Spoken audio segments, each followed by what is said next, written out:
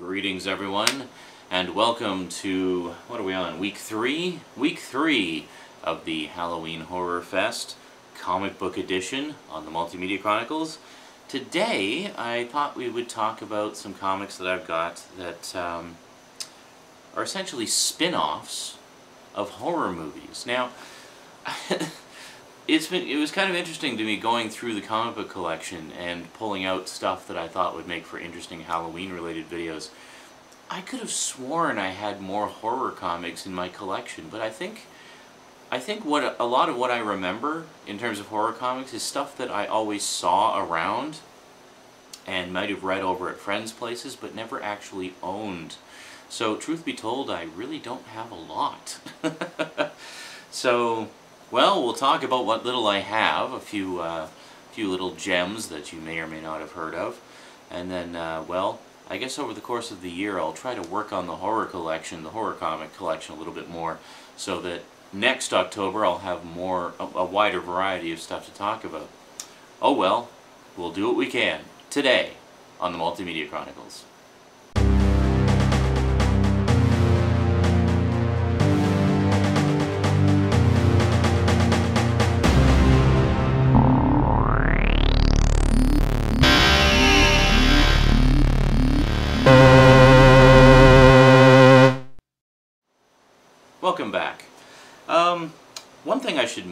Is uh, some of the hardcore collectors among you may cringe from time to time when they see the condition of some of my comics.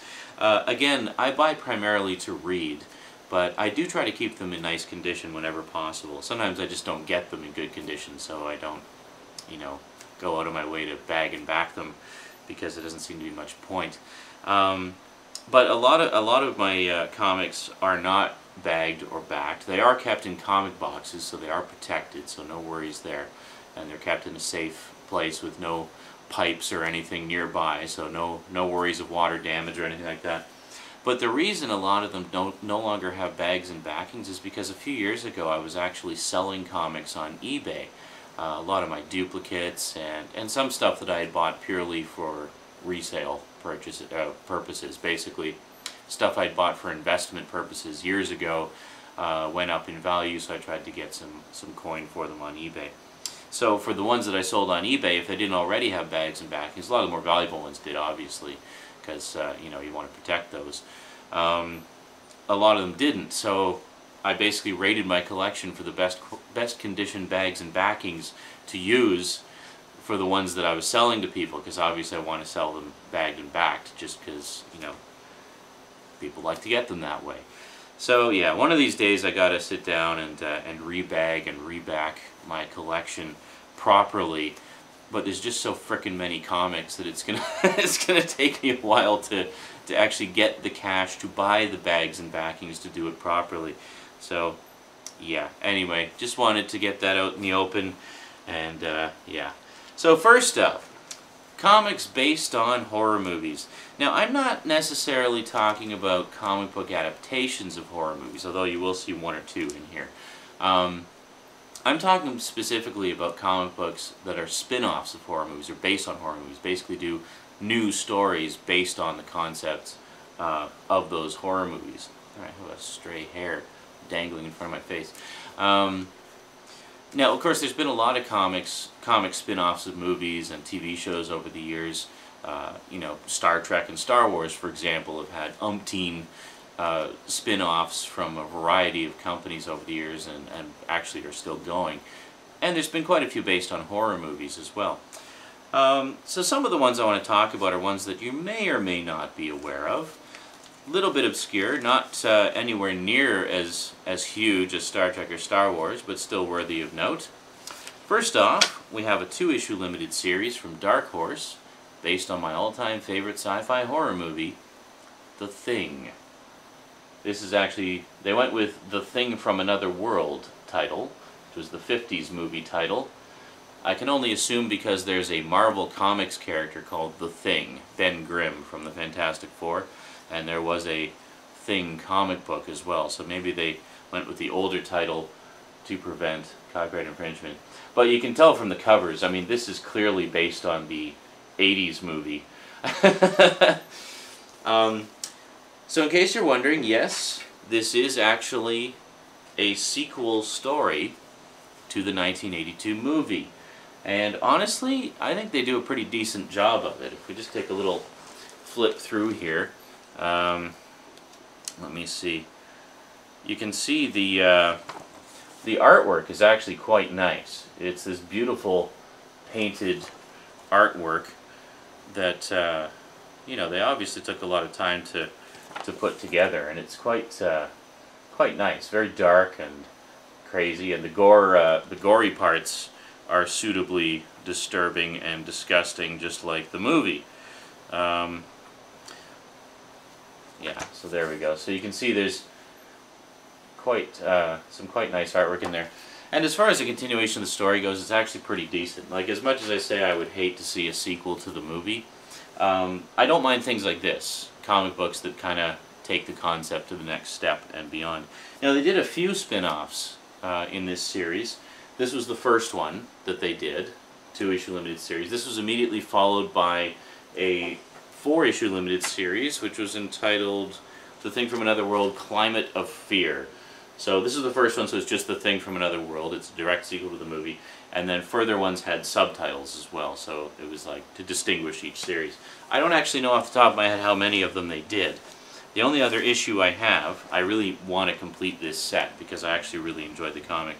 The only other one I have is this one, which was another four-issue series called Eternal Vows. And this is the first issue. Now in this one, they actually went with more uh,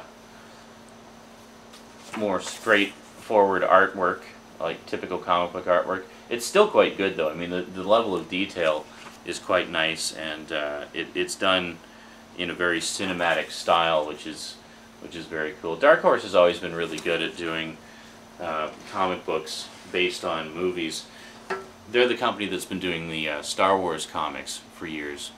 So anyway, there you go. The Thing from Another World, comic books. If you liked the, the 1982 movie, you might want to check out the comics because it uh, continues the story. Eternal Vows is interesting actually because it finally sort of answers the question, what would happen if the thing actually made it to a civilized area? It's also a little unusual in that the thing itself actually communicates mentally with its victims. So there's sort of internal conversations between the victim that it's taken over, like the, the consciousness of the original victim, and the thing.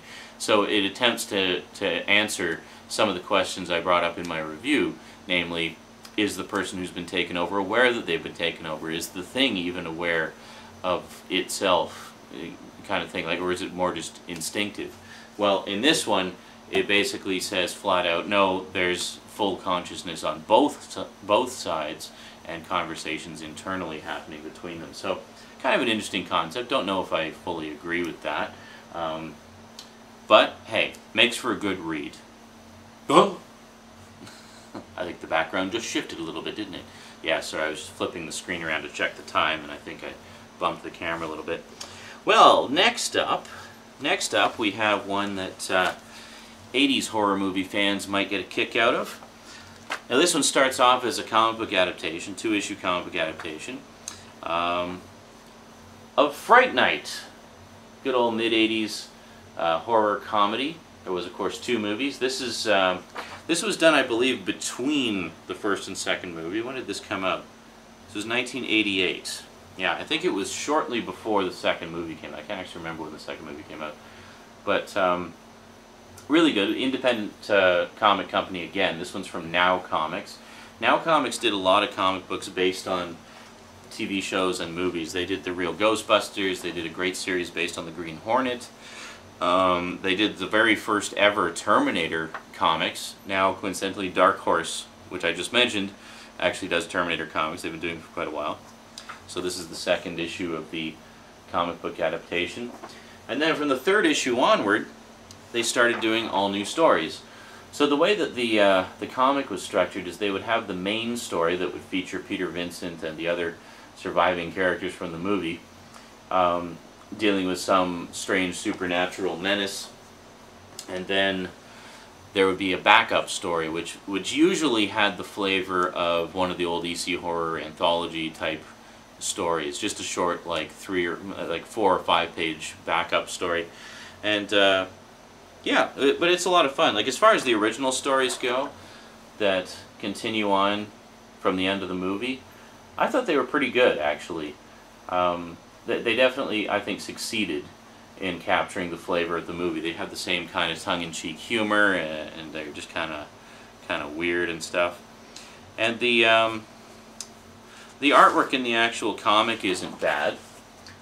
This is about some kid who loves spiders who basically turns into a spider. Oh, and look, on the back, ad for the real Ghostbusters. There you go.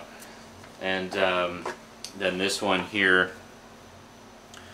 was a story about these uh, these weird bat creatures that would attach to the heads of victims and uh, feed on their memories, and uh, pretty interesting stuff. So, yeah. So I don't actually have a lot of issues of this either. I'd, I'd really like to get some more of them. Uh, I basically just have these four: one issues one, two, three, and five. and then, a few years later, they re-released the story about the strange bat creatures, but in 3D. So this is a special 3D issue. So we take a quick. Uh, I actually still have it in the original bag that it came in. So if we take a look here, got the 3D. These are the actual 3D glasses. It says 3D video glasses. It's the good old red and blue. I find the red and blue 3D really doesn't work very well for movies, but it works really well for comic books. Anything that's in print that isn't moving, uh, I find it works really, really well. So this actually reprints the entire issue, including the backup story, which was Revenge of the Vengeful Avenger, which is a very tongue-in-cheek take on the classic sort of, uh, you know, person who is wronged, killed, and brought back to life as a vengeful zombie. But the uh, in the case of this one, the narrator ends up killing everybody because all the zombie wants to do is go and do all the stuff he never got the chance to do when he was alive. He's like, oh, cool, I'm alive again. I want to go to the carnival. I want to eat popcorn. And, and the narrator's just like, what the hell are you doing? You, you should be going and killing the people that wronged you. And it's like, no, I don't want to do that. I just want, ooh, Ferris wheel, you know. it's like the most, like, wimpy zombie, geeky zombie you've ever seen in your life. So finally the narrator takes matters into his own hands. He's like, well, I got a quota of death, destruction, and carnage to fill here. I mean, this is supposed to be a horror story. So he actually goes and kills the people who killed the, the other guy. And it's just hilarious. So yeah, so that's the kind of things you can expect from the Fright Night comic. I mean, you get the, the main stories, which follow the, the, the primary characters that you're familiar with from the movies, and then the backup stories are usually a lot of fun as well. So that's why I'd actually really like to get the rest of these because because um, I really enjoyed these. I really enjoyed it. In fact, I'd even say I enjoyed them a little bit more than the movie, which is, I know, a pretty bold statement. But uh, the movie was pretty good. Then we have a comic book based on, one of the few comic books actually, based on one of my all-time favorite movie villains, Freddy Krueger, with Innovation Comics Nightmares on Elm Street. This is the first issue. And in case you're wondering when it came out, it was shortly before Freddy's Dead came out, the sixth movie. Now, again, this is this is a pretty slick comic. I mean, you take a look at the artwork there. That's pretty nice. Innovation was doing a lot of different comics like this at the time, based on a variety of properties. They did one based on, yeah, actually they did one based on Quantum Leap. You can see the ad there. And, uh, and almost all of them had this beautiful painted artwork. Like they didn't just do standard artwork. So they did uh, this beautiful painted artwork on glossy paper, and it was really cool. Now this uh, this particular Nightmare on Elm Street comic is not the first one. It's another another look at uh, one of the dream sequences there. The thing I like about this is actually the the dream sequences are suitably surreal, and the painted artwork really lends itself well to that and I think they did a really fabulous job with this. And uh, and there on the back you can see an ad for the second issue. I don't have the second issue. Um, now, the Nightmare on Elm Street comics, I don't know why, because there's been so many horror comics over the years, but typically it seems the Nightmare on Elm Street comics tend to get canceled very quickly for whatever reason. Presumably some kind of controversy about the violence or something. I don't know. But there are so many other horror comics out there that are so much worse in terms of graphic content and potential controversy out there. Why is everybody picking on Freddy all the time? That's what I don't understand. Now, I was going to say, this is not the first time there was a Nightmare on Elm Street comic. There was one earlier, came out around the time of Nightmare on Elm Street 4, I believe, that was put out by Marvel Comics as part of their uh, black and white magazine style comic line. Uh, there's other comics that they did in that line, such as Savage Sword of Conan, The Tomb of Dracula. Howard the Duck even had a black and white comic for a little while. Um, so anyway, they, they thought, well, we'll do it as the black and white line because that was geared more towards adults, like old, you know, mature readers, and then they could just cut loose with the, the blood and guts and stuff. Well, I have all two issues that they published of that. Uh, sadly, they're packed away somewhere. I don't know where. When I find them, I'll show you. Don't worry. Um, still kind of digging stuff out of the collection. But um, I don't know why. I don't know why they keep picking on Freddy with the comics. Because my understanding is the Freddy comics have sold quite well over the years. And so it's not through lack of sales that they're being canceled. I think it's just, I don't know. Uh, maybe it's because he was a child killer or something. But I mean, that's not, that's not even what the comics are about. They're about this dream killer, killing people in their dreams. And it's like, I don't know, people need to get sticks out of their asses, I swear. It's like, okay, we can't pick on EC Comics anymore, so we're going to pick on Freddy. Yeah, well, go to hell. Seriously, just go to hell. Alright, and finally, finally, this kind of ties in, I'm kind of tying things in a little bit here. It's completely unintentional, but just kind of worked out that way. Finally, we have a series of comics based on the Blair Witch Project. Yes, that's right. They did comics based on Blair Witch. Now, if you take a look inside, it's uh, done in beautiful black and white. This is from Oni Press, which is a an independent uh, comic book company that's done a lot of stuff over the years. They're still going. They do a whole bunch, a whole variety of things. But um, now, sort of the origins of this are similar to the origins of some of the marketing material for the original movie. Now, the original movie had a book that was published uh, to promote it. Um, I have it somewhere, again, packed away. I don't know where it is. I'll show you when I get it, or when I dig it out. Um, and the book was really interesting, because remember how I was talking about how they tried to, uh, in a lot of the marketing, they tried to pass it off as if it was real, and they did like faux documentaries and such to try to build on that, and and they and the, also the fact that I was really impressed with the whole mythology and backstory that they created for it. Well, in the book that was published, it was basically a collection of uh, supposed, like, basically fake police reports, newspaper clippings, old drawings of witch burnings and things like that. All fake, but made to look very convincing and very real. And they did the same kind of thing on the website at the time. They had a website that had all this, this uh, material. Well, by the same token, that's how Oni Press decided to approach the comic book, was that they were, the, there's like a, a, fake letter at the beginning here saying that, um, you know, they were approached to do, to tell some of the backstory and some of the history uh, surrounding the, uh, the, the, the Blair Witch and to tie it in with the events of the, uh, the missing filmmakers. And, but, to do it as a comic book. So they did it as a comic. Book. So this very much has the same kind of tone and flavor as the book and the website, but it's just it's telling additional stories and flesh, further fleshing out the mythology in comic book form. Now originally they did this one, which is direct tie-in with the movie and ties in with a lot of the stories that you see uh, in the movie or that you hear about the, the townspeople talking about. And then they did a four-part series called The Blair Witch Chronicles. Now I'm missing one issue of this. There is, uh, yeah, I'm missing issue three. Now, the thing that's interesting about the Blair Witch Chronicles is, again, it's additional stories that build on the mythology and expand on stories that you heard about in the movie or in the book or the website, and uh, basically just fleshes things out a little more. So we got three of the four issues here. And what's really cool about this is the stories are essentially told in reverse chronology. So as you work your way through the miniseries from 1 through 4, you start in issue 1 in modern day. And then as you work your way through the four issues, you go back and back and back in time until finally in the final issue, you actually get to meet Elly Kedward, the Blair Witch, and see what the circumstances were concerning her uh, demise and whatnot, and what she was like when she was alive and stuff like that. And it's it's pretty cool. And actually, you see a little bit of that in the Blair, in the first Blair Witch uh, comic as well.